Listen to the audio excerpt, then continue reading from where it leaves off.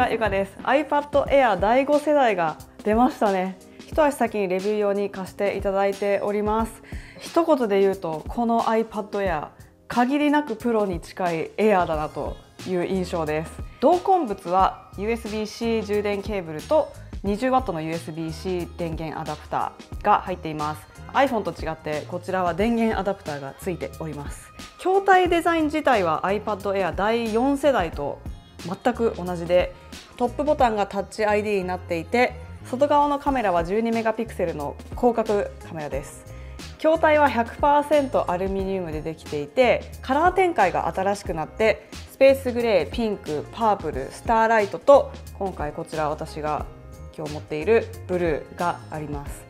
このブルーなんですが第4世代の時もブルーが一応目玉カラーみたいな感じだったんですがその時はスカイブルーというもうちょっと薄めの色でした。今回のブルーはもうちょっと濃くなってパステル感がちょっと減った感じのマットな素材です。ディスプレイも変わらず10.9インチのリキッドレティナディスプレイで Apple Pencil 第2世代に対応しています。そちらも第4世代から変わっていません。今回もスマートフォリオやマジックキーボードケースと一緒に使うことができます。第5世代で新しくなったポイントについて話していきたいんですが、まあ、大きく4つあります。まず1つ目大きいことが M1 チップが入りました。M1 チップは今まで iPad Pro Line だけに入っていて初めて iPad Air に乗りました。これによってどれくらい全世代から速くなったか検証したんですが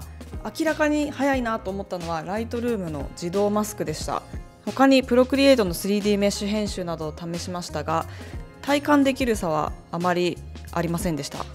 で2つ目が 5G 対応です。Wi-Fi モデルを選ぶとあまり関係ないんですが、まあ、外で使いたい方セルラー選ぶ方にとっては、ま、5G 対応も嬉しいポイントだと思います。3つ目がより速い転送速度の USB-C ポートがつきました。転送速度が倍になって 5GB per second から 10GB per second になっているのでカメラと直接 USB-C でつないでデータ転送したいなみたいな使い方をする方にとってはすごく嬉しいポイントだと思います。あと4つ目がフロントカメラが12メガピクセルのセンターフレーム対応のカメラになりました。 FaceTime とか Zoom とかするときに、まあ、単にね12メガピクセルという解像度が上がっているので綺麗っていうのもありますしセンターフレームがあることによってまちょっと画面の中で動いたりとか複数人が入ったり抜けたりしてもなんかいい感じにフレーミングしてくれるというね機能です。でこれはもう全ての iPad に今回で入ったことになります。ということで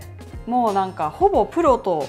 あまり変わらなくなってきたんですが、まあ、プロとの違いをちょっと話していきたいんですが iPad Pro 11インチと比べるとお値段的にちょっと数万円の差額が出るんですがプロモーション超広角カメラ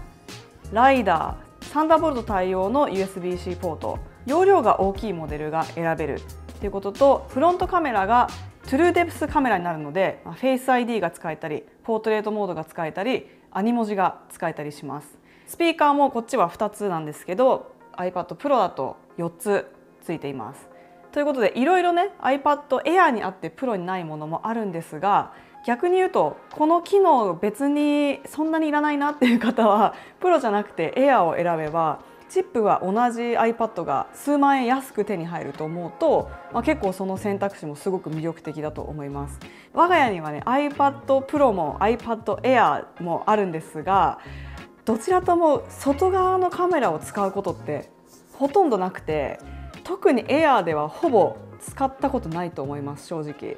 FaceTime をする時にフロントカメラをよく使うのでこのフロントカメラのアップグレードはすごく嬉しいポイントなんですが外カメラはねエアーではあんま使わないですね。でプロの方ではやっぱり LiDAR がついていたりとかなんかもうちょっと AR 的なことをしたいなって思ってそういうことのためにちょっと実験的なアプリを試したりするのに外側のカメラとライダーの組み合わせでちょっといろいろ試してみたりとかしたことあるんですがあんまりこうなんか日常的に写真を撮ったりするわけではないので私にとってもそうだし多分他の方にとってもライダーを含めてね外側のカメラってちょっと優先順位低いんじゃないかなと思います。もう一つはプロモーションなんですがディスプレイのリフレッシュレートですね。それを最大 120Hz まで上げて、まあ、使ってない時というか動いてない時はリフレッシュレートを下げてバッテリーの持ちを長くするっていう機能なんですが、まあ、要するにすごくヌルヌル感が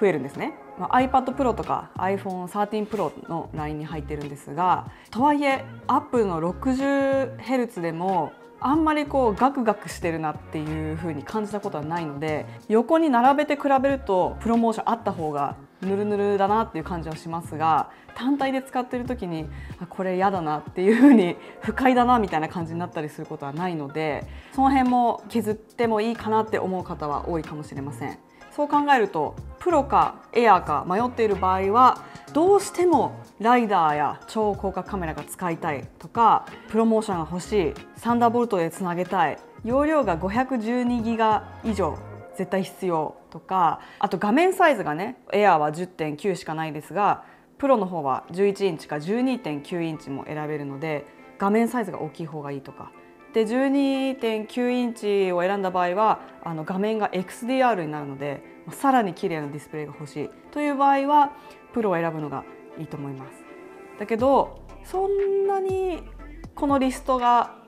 うん別にいいかなみたいな感じだったらエアーで十分っていうことになるんじゃないかなと思います。最近の iPad Air と iPad Pro は出るタイミングがねちょっと違ったりするから毎回なんかレースみたいにエアーがちょっと追い上げてプロにいろいろ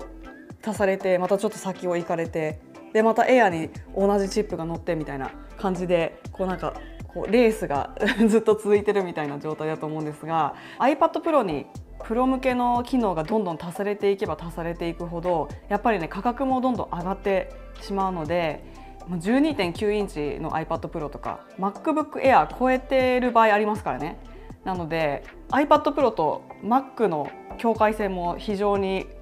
面白い部分になってきていますがそんな感じでそっちのねレースもありますよね。価格がどれだけ高くてもいいから iPad の最新の機能を全部詰め込んだやつが欲しいっていう方はやっぱ iPad Pro すごく面白いしいろんな最新のテクノロジーを体感できるという意味ではとてもいい機種なんですがほとんどの方が